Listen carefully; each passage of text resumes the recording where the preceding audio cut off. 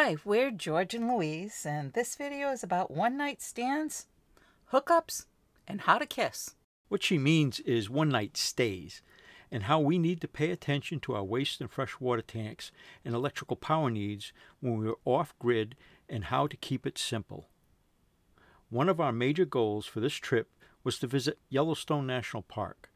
We were able to book a five night stay near the west entrance of the park, so we needed to plan a way to get there by a specific date. We planned several stops, including a series of one night stays from Harrodsburg, Kentucky, that covered over 1,900 miles to get us to our destination on time. It's not that we did it fast and had long travel days.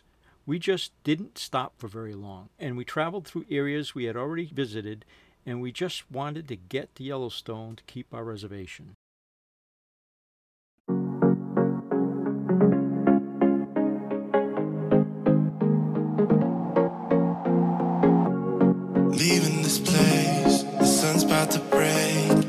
You're riding shotgun. I'm just gonna drive, drive, drive. We just left Wisconsin Dells and we're heading to Rochester, Minnesota. A little private campground called Autumn remember. Woods. Oh, Autumn Woods, yeah, right. For the next week, we'll be doing one night stays. Yeah, trying to get the Yellowstone. Yeah, it's going to be a little bit grueling, but um, it was part of the plan. We did it consciously. We're still only traveling maybe four hours a day, Yep. and we just want to get to Yellowstone. Tomorrow we get we're stopping at Sioux Falls. We really like that area. Try to get there early and go downtown. yeah, yeah, yeah. Because last time we just kind of went downtown, but spent both of, most of our time at the falls. Yeah. So this time we'll um, get some steps in downtown. That'll be fun. We're still gonna see the falls though. Yes. Let's talk about how to stay nimble, simple, and enjoy the ride. For example, planning your meals. It's so important. Make sure you have everything that you need on hand so that you don't have to stop at a grocery store. You just want to keep to healthy, enjoyable meals.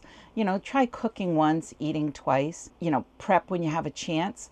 Uh, lunch breaks are really important. So, our go tos are fruit, cheese and crackers, nuts, protein shakes, that kind of thing. So I'll prepare that in the morning and then I'll just get up and go over to the refrigerator and grab that while we're driving along. Sometimes we know that on our route there's going to be something that we want to stop and see.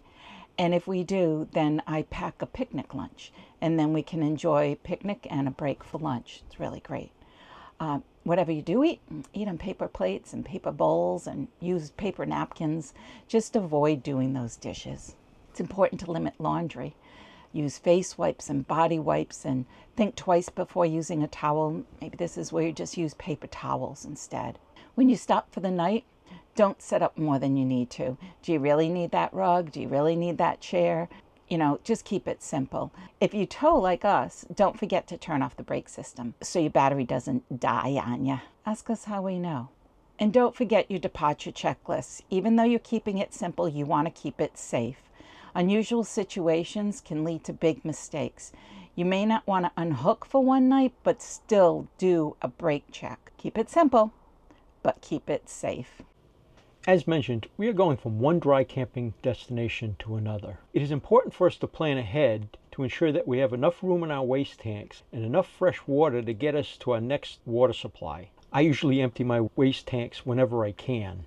As far as fresh water is concerned, I usually only put on as much as I need to get to our next water supply.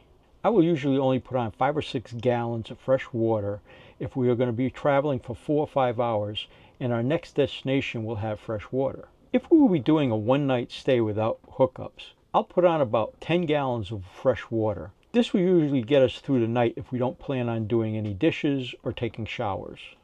If we will be doing extended dry camping, I may fill the tank completely with fresh water. The key here is to be efficient. 10 gallons of water weighs about 83 pounds, and every 100 pounds of weight we add to the RV reduces our fuel efficiency by 2%. So it is important to keep our waste tanks empty and carry only as much fresh water as we need to get us to our next water supply. We have a propane generator, so it consumes about three quarters of a gallon of propane per hour when running the generator. So our 13 gallon propane tank doesn't get us very far when we're running the Jenny. We will start looking for propane once our tank reaches about half full.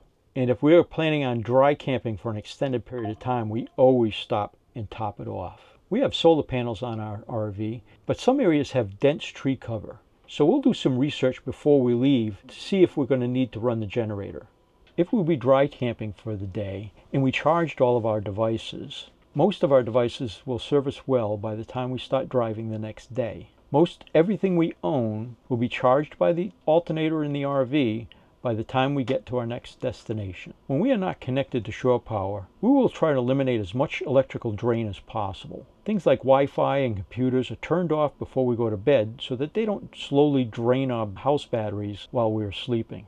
It would be an awful start to the next day if Louise is not able to make coffee in the morning because the house batteries are dead. If we need to empty our waste tanks in between full hookup destinations, we have found that the Campendium app has been helpful in showing us where the nearest dump station is. Well, that ends our trek of one night stays. Yes. We're heading to Yellowstone for five nights. It's going to be totally worth all those one night stays. yeah. The park that we were at was, was pretty nice. It was very well maintained. You could tell that they Yeah. were proud of their park, but it was small. And there was, of course, as often is, a train Yeah. and some highway noise. But um, I slept well. Uh, I did. I woke up a couple Not times because of the train. Yeah, Um, same.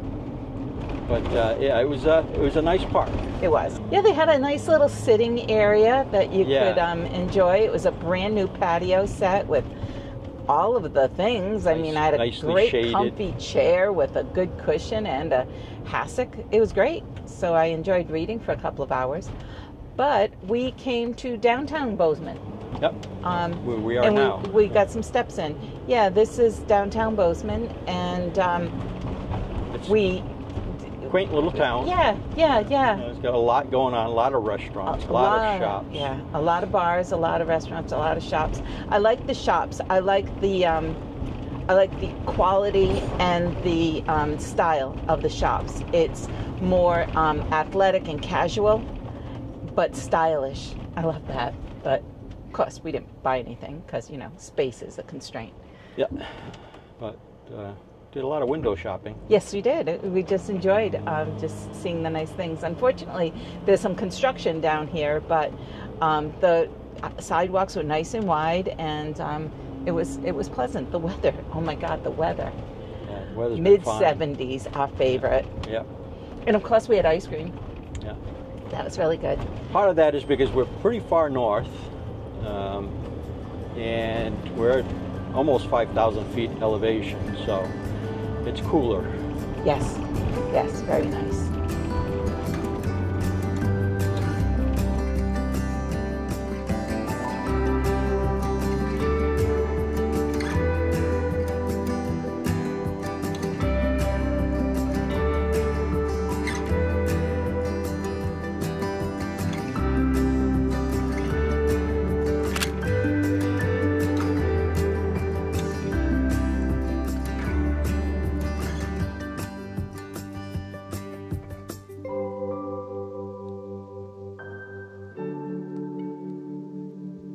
Well, as you can see, we arrived at Yellowstone Grizzly RV Park near the west entrance of Yellowstone. Have you been to Yellowstone? Leave a comment below and watch for an upcoming video on our experience and what we learned to make national park visits just a little bit more enjoyable.